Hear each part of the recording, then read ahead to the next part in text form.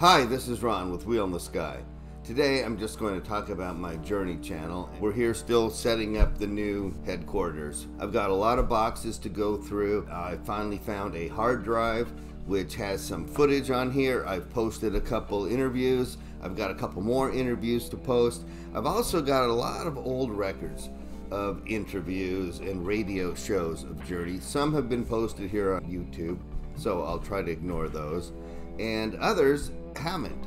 I posted a video interview 1980 with Steve Perry and Greg Rolie. I've got more of those interviews, and that interview I've got it, it actually lasts 40 minutes. Uh, I got plenty others on on album. Uh, they've been digitized, so I promise I will get them up as soon as possible. Also, I'm going to see Journey for the first time since 2005 they're going to be playing at the Staples Center here in Los Angeles, California. I, I became a Journey fan in 1980. Uh, I never got to see Greg Rolie on concert. My uh, first concert was in Ventura County. Uh, it was pre Escape. That was right after Captured came out, and Jonathan Cain was already in the band. I, I really wish I would have seen Greg in concert. Um, I really miss his vocals with Steve, uh, those songs, and I really miss his influence in the band. Then I saw Journey in 1981 at the Forum. I guess at the Forum. I also saw him at the Rose Bowl. That probably was in 1982. I also saw them in 1982 up in San Francisco for a day on the green.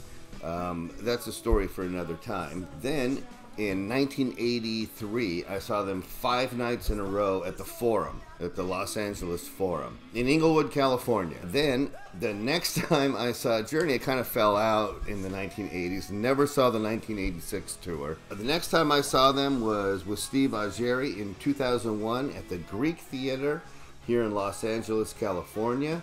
It was a great concert. It was great to see the guys back, but uh, unfortunately, Steve Smith was no longer with the band. In 2005, I saw Journey for the last time. I saw them at the Pechanga Casino, San Diego, California. Deen Castronovo was on drums, and uh, really, really, really looking forward to seeing them here at the Staples Center, uh, Los Angeles, on April 5th. Uh, it's the first time I'm going to see Arnel in concert, so I'm really looking forward to it. I really wish Steve Smith and Ross Valory were there with the band because then the only person missing would be the lead singer, and they've got a great replacement. So I was looking forward to seeing that incarnation of the band, but um, I have no idea who I'm going to see. Um, maybe Deen is on drums. I don't know. Uh, anybody has any comments about him being back in the band? Please leave them below. Oh, I heard maybe Randy Jackson might be on bass. I never got to see him in 1986, so it would be great to see him now after seeing him for so many years on American Idol, talking so highly about Steve Perry. And so, on to this. This is the Journey folding sunglasses that I got through the Journey fan club back in, I'm guessing 1982, 1983 maybe uh, here we go. They just uh, unzip.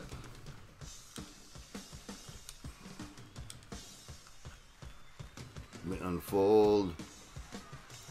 These unfold and you put them on. So you've got the journey. It says journey right over here on the lens. I can't see it from inside the glasses. So how do they look?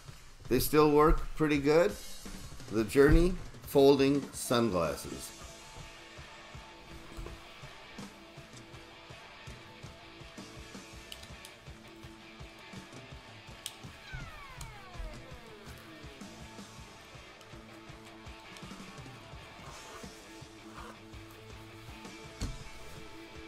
So in conclusion, I'm really looking forward to see Journey in April at the Staples Center. If anybody else is seeing Journey during the Freedom Tour, please comment below. Let me know how it's going. So send me your pictures and your stories, and I'll post them at Wheel in the Sky blog. Have a good day, everybody.